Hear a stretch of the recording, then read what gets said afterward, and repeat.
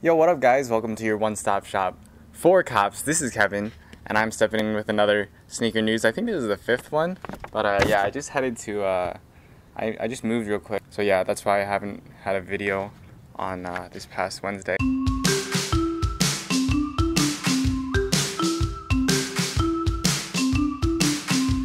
Yeah, anyway, so so we had a lot of collabs in the meantime. Um, especially ones dropping uh, today and yesterday.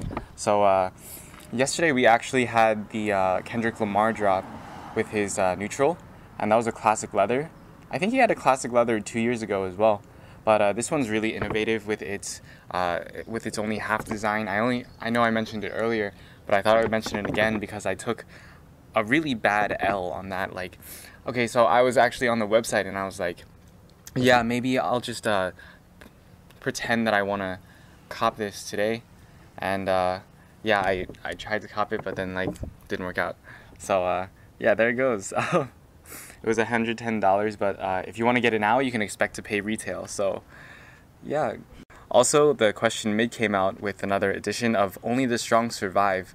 Again, this is an Allen Iverson shoe, and it has some Kevlar materials and reflective materials, but uh, in my opinion, like the bright orange upper and the white uh, midsole, like that's just not my style.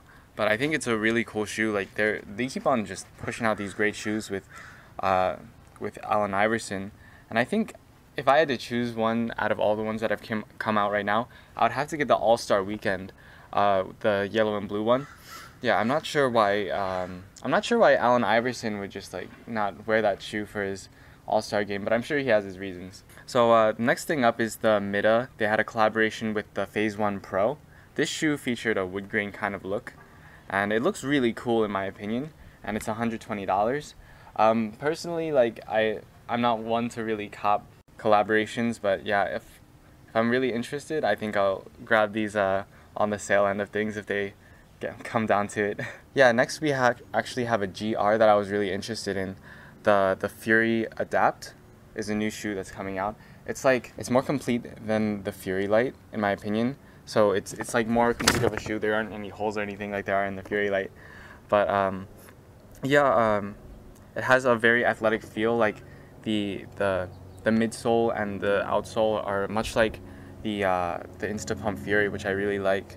Yeah, so I'm I'm hoping it'll be a more affordable version of the Instapump Fury. Lastly, we have a collaboration with Major and the Phase 1 Pro as well. So we have two, two shoes in the Phase 1 Pro category today. And uh, it's the Stars and Stripes, which actually comes out today on Saturday. Um, and I think it's really dope and well executed in my opinion. Um, yeah, they're, they're really bright red shoes. So you're gonna have to like tone down your outfit so that people can notice these shoes. Um, but I think you'll have no problems with that. So uh, yeah, that's sneaker news for this week. Thanks for stopping by your one stop shop for cops. Uh, I'm Kevin. I'm signing out. This is California.